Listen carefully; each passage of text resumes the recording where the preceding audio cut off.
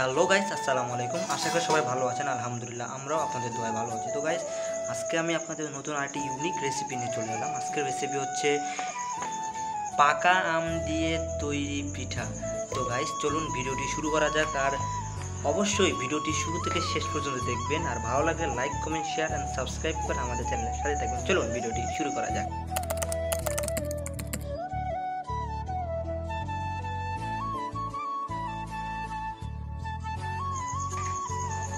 প্রথমে আমরা আমগুলোকে ব্লেন্ডারে ব্লেন্ড করে নিব। সেই জন্য একটি পাত্র থেকে ব্লেন্ডারের জগে আমগুলোকে নিয়ে নিচ্ছি।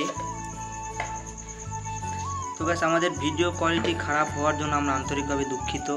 ইনশাল্লাহ নেক্সটে আমরা ভালো করার চেষ্টা করব। তো আমরা আম, ব্লেন্ডার করার জন্য দিয়ে দিচ্ছি চিনি।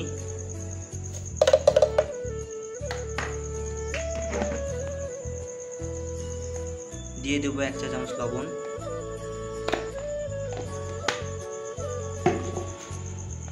এখন এটাকে আমরা ব্লেন্ডারে ব্লেন্ড করে নেব তো গাইজ এখন ব্লেন্ডার আমরা ব্লেন্ড করতেছি।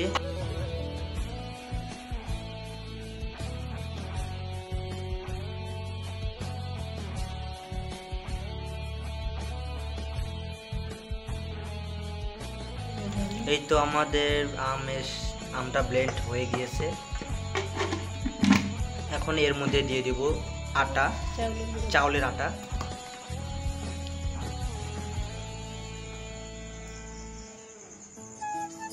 তো গাছ দিয়ে দিলাম চাউলের আটা।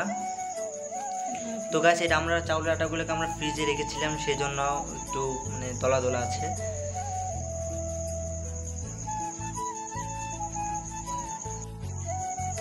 তো গাইস এখন দিয়ে দিব সোডা হাফ চা চামচ দিয়ে এখন ভালোভাবে মেখে নিব।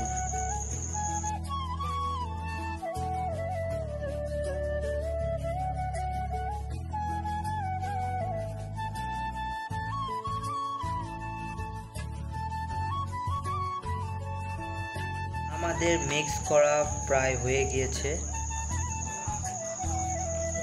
এখন দিয়ে দিব তো গাইস পিঠাগুলোকে ভাজার জন্য আমরা করিয়াটা বসিয়ে নিলাম প্রায় ডিজিটাল চুলায়।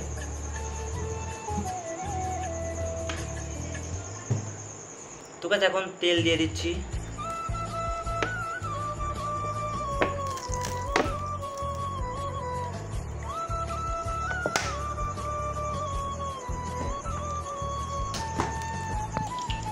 এখন আমরা এক এক করে দিয়ে দিচ্ছি আমের পিঠা।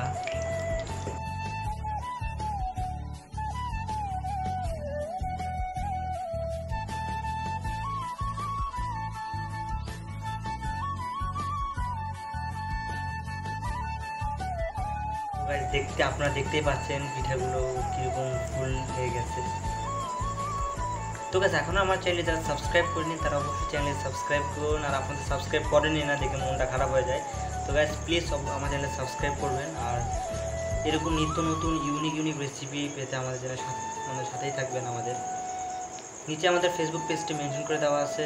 অবশ্যই পেজটিকে আপনারা চাইলে ভিজিট করতে পারেন। আর হ্যাঁ অবশ্যই আপনারা এইভাবে বাসায় ট্রাই করবেন। আশা করি অনেক ভালো হবে।